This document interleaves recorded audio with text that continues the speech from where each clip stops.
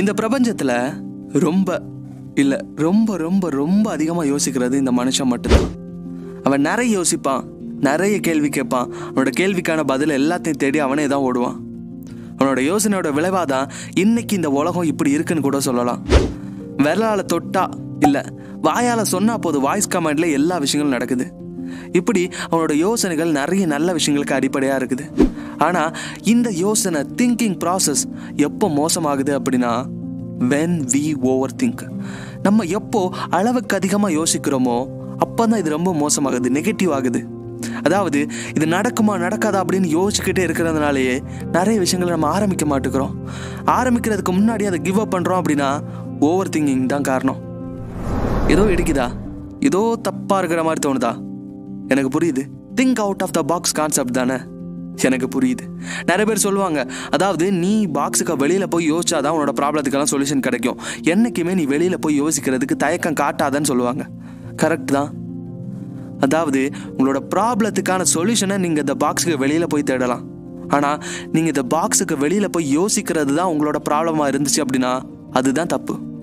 அது மட்டும் இல்லை you can think big but don't wait for the big start நீங்கள் பெரிய அளவில் யோசிக்கலாம் எந்த தப்பும் கிடையாது. ஆனால் நான் பெருசாக தான் இந்த விஷயத்தை ஆரம்பிப்பேன் அப்படின்னு சொல்கிறீங்களா அது தப்பு. உங்களால் முடிஞ்சது எவ்வளோ சின்ன ஒரு படியாக இருந்தாலும் அதை உடனே எடுத்து வைங்க. ஸ்டார்ட் ரைட் நவ் அது மட்டும் இல்லாமல் நம்ம மனுஷனுக்கு ஒரு குணம் இருக்குது நம்ம ஒரு விஷயத்தை ஆரம்பிக்க போகிறோம் அப்படின்னு தெரிஞ்சுது அப்படின்னா அதில் கூட நல்ல விஷயம் நம்ம கண்ணுக்கு தெரியாது. அதில் கூட கெட்ட விஷயம் தான் மொதல் முதல்ல நம்ம கண்ணில் தெரியும். அதாவது நான் இன்னைக்கு பிஸ்னஸ் ஆரம்பிக்க போகிறேன் அப்படின்னு எண்ணம் வந்துச்சு அப்படின்னா பிஸ்னஸில் லாஸ் ஆகிட்டா என்ன ஆகும் அப்படிங்கிற எண்ணம் தான் எனக்கு மொதல் வந்து நிற்கும் இன்னும் சிம்பிளாக சொல்ல போனோம் அப்படின்னா நம்ம ஒரு விஷயத்தை ஆரம்பிக்க போகிறோம் அப்படின்னா அதில் கூட பாசிபிலிட்டிஸை பற்றி யோசிக்கவே மாட்டோம். நெகட்டிவ் சைடு தான் யோசிப்போம். இப்போ சொல்லுங்க நீங்கள் நெகட்டிவ் சைடை மட்டுமே பற்றி யோசிக்கும் போது எது அதிகமாக இருக்கும்? பாசிட்டிவ் சைடு அதிகமாக இருக்குமா? நெகட்டிவ் சைடு அதிகமாக இருக்குமா? கண்டிப்பாக நெகட்டிவ் சைடு தான் அதிகமாக இருக்கும். இதனால என்ன ஆகும்? அந்த விஷயத்தை ஆரம்பிக்கிறதுக்கு முன்னாடியே கிவ் அப் பண்ணிடுவோம். இதை வேண்டான்னு முதல்ல விட்டுருவோம். இங்கே தான் ஓவர் திங்கிங் தப்பாகுது. இந்த ஓவர் திங்கிங் இங்கே தான் நெகட்டிவான ஒரு விஷயமா மாறுது. அதுக்குன்னு நான் தான் ரொம்ப நெகட்டிவாக இருக்கிறேன். என்னோட மைண்டு தான் நெகட்டிவான விஷயங்களை பற்றி யோசிக்குதுன்னு நீங்கள் தப்பாக புரிஞ்சுக்காதீங்க.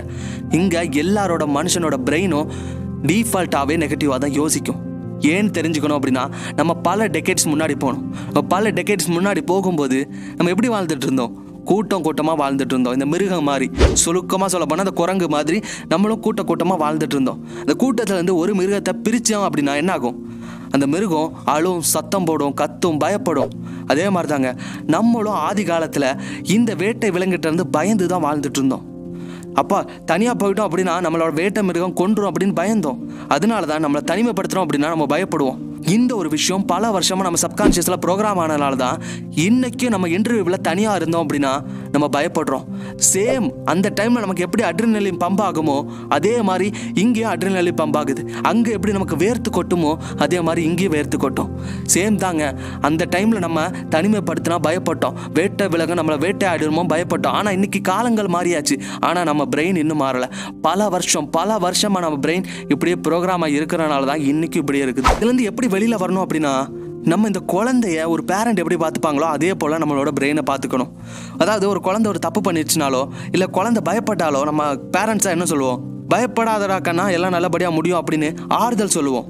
இந்த ஒரு தடவை விட்டு அடுத்த தடவை நல்லபடியாக நடக்கும் அப்படின்னு மோட்டிவேட் பண்ணுவோம். அதே மாதிரி தாங்க உங்களோட பிரெயின் எப்பெல்லாம் உன்னால் முடியாது இது தப்பாக போயிடும் இது பாசிபிளே இல்லை அப்படின்லாம் சொல்லுதோ இல்லை கண்டிப்பாக நடக்கும் இந்த ஒரு தடவை தான் நீ ஃபீல் பண்ணாத அப்படின்னு நீங்கள் அதுக்கு ஆறுதல் சொல்லுங்கள் உங்களோட பிரெயினுக்கு நீங்கள் ஒரு பேரண்டாக மாதிரி உங்களோட கான்ஷியஸ் மைண்ட்ல இருந்து ஒரு மோட்டிவேஷன் கொடுங்க. அந்த ஒரு மோட்டிவேஷன் போதும். அந்த ஒரு மோட்டிவேஷன் உங்களை ஆரம்பத்தில் ஒரு சின்னதாக ஒரு படி எடுத்து வைக்கிறதுக்கு உந்துதலை கொடுக்கும். அந்த ஒரு படி நீங்கள் எடுத்து வச்சிட்டிங்கன்னா அடுத்த இன்னொரு படி அடுத்த இன்னொரு படி அப்படின்னு நீங்கள் அடுத்தடுத்தது உங்கள் வாழ்க்கையில் ஜெயிச்சுக்கிட்டே இருக்கலாம். இன்னும் இதை விட அட்வான்ஸ் லெவலில் நம்ம எப்படி ஓவர் திங்கிங்லேருந்து வெளியில் வரலாம் அப்படின்னா you have to enter to the motions அதாவது இந்த உலகம் ஒரு வகையில் இயங்கிக்கிட்டே இருக்குது இங்கே தினமும் சில விஷயங்களை பண்ணியே ஆகணும் அப்படின்னு உங்களுக்கு ப்ரீ பிளான்டாக இருக்குது. ஆனால் நம்ம என்ன பண்ணுறோம் டயர்டாக இருக்குது போர் அடிக்குது அப்படின்னு ப்ரொக்ராஷினேட் பண்ணிட்டு அதை விட்டுக்கிட்டே இருக்கிறோம். ஆனால் அப்படி எதையும் பற்றி யோசிக்காமல் அந்த ஃப்ளோவில் அந்த மோஷனில் அந்த இயக்கத்தில் நம்ம அதை ஆரம்பிக்கணும். இன்றைக்கி இதை பண்ணணுமா? கண்டிப்பாக பண்ணணும்னா நான் பண்ணுவேன். இன்றைக்கி படிக்கணுமா? ஒரு மணி நேரம் படிப்பேன். இன்றைக்கி இந்த ப்ராஜெக்டை முடிக்கணுமா? நீ முடிக்கிறது வரை நான் தூங்க மாட்டேன் அப்படின்னு நீங்கள் உங்களோட ப்ரொக்ராஷினேஷனுக்கு இடமே கொடுக்காம அது ஸ்டார்ட் பண்ணணும். இதை வேணால் கேட்குறதுக்கு ரொம்ப ட்ரமாட்டிக்கலாக தியரட்டிக்கலி பாசிபிளான ப்ராக்டிக்கலி இம்பாசிபிள்னு சொல்கிற மாதிரி இருக்கலாம். ஆனால் உண்மை என்னன்னா இந்த உலகத்தில் இருக்கிற சக்ஸஸ்ஃபுல்லான பீப்புள்ஸ் எல்லாருமே இதை தான் பண்ணிட்டு இருக்காங்க நம்ம எல்லாருமே கோல்டு பாத்னு ஒரு விஷயம் கேள்விப்பட்டிருப்போம். எழா கோல்டு பாத்னு கேட்குறீங்களா தினமும் காலையில் எழும்புனதும் எதையும் யோசிக்காமல் சடனாக ஒரு கோல்டு பாத் எடுங்க எடுக்கணும். அப்படி எடுத்தீங்க அப்படின்னா அந்த நாள் நினச்ச மாதிரி நல்லபடியாக அமையும். இது ஒரு நல்ல ஒரு குட் ஹேபிட்னு எல்லாரும் சொல்கிறாங்க ஆனால் இதுக்கு பின்னாடி இருக்கிற ஒரு சயின்டிஃபிக் ரீசன் என்ன தெரியுமா? நீங்கள் தினமும் காலையில் எழுமினதும் எதையும் யோசிக்காமல் சடனாக கோல்டு பாத் எடுக்கிறீங்க அப்படின்னா அங்கே ப்ரொக்ராஷினேட் பண்ணுறதுக்கு இடமே கிடையாது. நீங்கள் அந்த டேயோட எடுக்கிற மொத முடிவு ப்ரொக்ராஷினேஷன் இல்லாமல் ஆரம்பிக்கிறீங்க. இந்த நாளோட இயக்கத்தில் அந்த நாள் ஆரம்பிக்கிறதுனால இந்த நாள் முழுவதும் நீங்கள் ப்ரொக்ராஷினேட் பண்ணுறதுக்கான வாய்ப்பு ரொம்ப கம்மியாக இருக்கும். கன்க்ளூஷன் ஆஃப் த வீடியோ என்ன அப்படின்னா நீங்கள் யோசிக்கிறதுல தப்பே கிடையாதுங்க. ஆனால் நீங்கள் ஒரு விஷயத்த ஆசைப்படுறீங்க. அதுக்காக முயற்சி பண்ணணும்னு முடிவு பண்ணுறீங்க ஆனால் நடக்குமா நடக்காதா? அப்படி நீங்கள் யோசிக்கிறீங்க பாருங்கள் அது தப்பு. அப்படி யோசிக்காதீங்க. திங்க் பண்ணலாம். உங்களுக்கு ஒரு ப்ராப்ளம் இருக்குது அப்படின்னா நீங்கள் ஓவர் திங்க் பண்ணி அதுக்கான ஆன்சர் கொண்டு வரலாம். ஆனால் நீங்கள் ஓவராக திங்க் பண்ணுறது தான் ப்ராப்ளமாக இருந்துச்சுன்னா அது தப்பு. ஸோ ஓவராக திங்க் பண்ணாதீங்க. நெகட்டிவிட்டி உங்கள் மனசில் கொண்டு வராதீங்க. ப்ரொக்ராஷினேட் பண்ணாதீங்க. அந்த ஃப்ளோவில் அந்த இயக்கத்திலேயே நீங்கள் அந்த விஷயத்தை ஆரம்பிங்க. ஸோ உங்களோட செல்ஃப் டெவலப்மெண்ட் ஜேர்னியில் நீங்கள் எடுத்து வைக்கிற முதல் படி இந்த ப்ரொக்ராஷினேஷனை உடைக்கிறதும் ஓவர் திங்கிங்கை குறைக்கிறதுமா தான் இருக்கணும்.